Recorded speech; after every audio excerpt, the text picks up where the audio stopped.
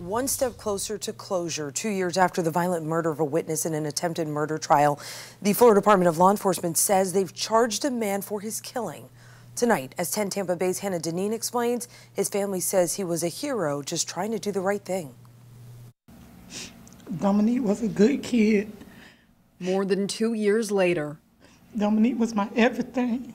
The family of a Winter Haven man, 20 year old Dominique Harris, remains heartbroken over their loss. It was very devastating. It was unbelievable.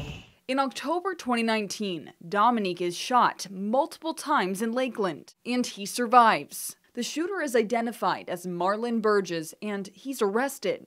Fast forward to December 2019, Burgess posts bond. He contacts Dominique, tries to persuade him not to testify against him, and fails.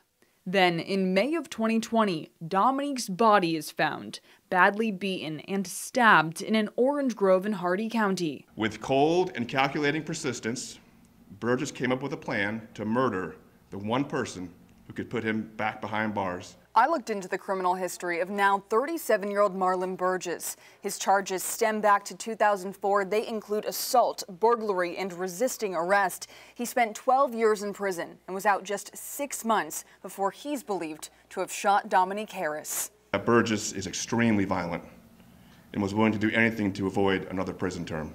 Burgess has been in jail since June 2020, arrested on separate charges a week after Dominique's body was found. The Florida Department of Law Enforcement says more arrests related to this case may be coming. Investigation is ongoing and continuing, and um, yeah, I would say stay tuned. Hannah Deneen, 10 Tampa Bay. This case is active and ongoing. Anyone with information can contact FDLE Tampa Bay.